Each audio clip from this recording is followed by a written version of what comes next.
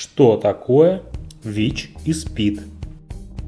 Наша иммунная система постоянно защищает организм от различных болезней. Она использует армию с клеток, Т-лимфоцитов, чтобы опознать и уничтожить инородные объекты. Но вместо того, чтобы атаковать клетки тела, вирус иммунодефицита человека или ВИЧ атакует сами Т-лимфоциты. Он превращает их в машине для создания копий ВИЧ и в конце концов убивает зараженные Т-лимфоциты.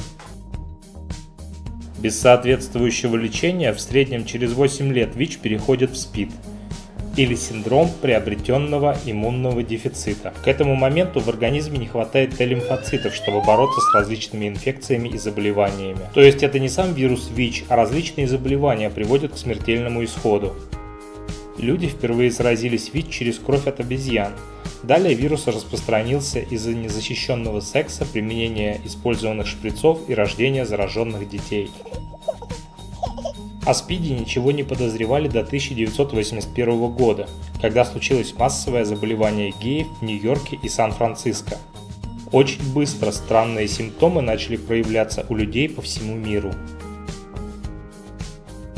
Пациенты страдали от редких форм рака кожи, пневмонии, молочницы. И только некоторые выжили. Предрассудки, связанные с гомосексуальностью, ограничивали финансирование исследований болезни, и все больше людей заболевали. Что можно было сделать? Ограничить распространение вируса. Стало очевидно, что лучшей мерой предосторожности был защищенный секс, так как вирус не мог пройти сквозь презерватив. Кроме этого, донорские пункты начали тестировать кровь, а новые проекты предполагали использование чистых игл для введения лекарств. В конце концов, в 1987 году была создана первая система лечения от вируса – прародительница современной политерапии. Лекарства все еще не вылечивают от заболевания, но они не дают вирусу размножаться и уничтожать иммунную систему. Начав раннюю терапию ВИЧ, инфицированные люди могут жить дольше и здоровой жизнью.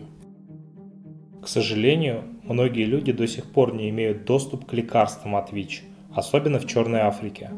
За последние 30 лет примерно 36 миллионов человек умерло из-за вируса, и 2 миллиона заражается вирусом ежегодно. Ученые добились большого прогресса, но все еще ищут, как полностью вылечить от вируса. Вы можете помочь в противостоянии со СПИДом. Занимайтесь защищенным сексом, протестируйте себя, жертвуйте на исследование ВИЧ и распространите это видео.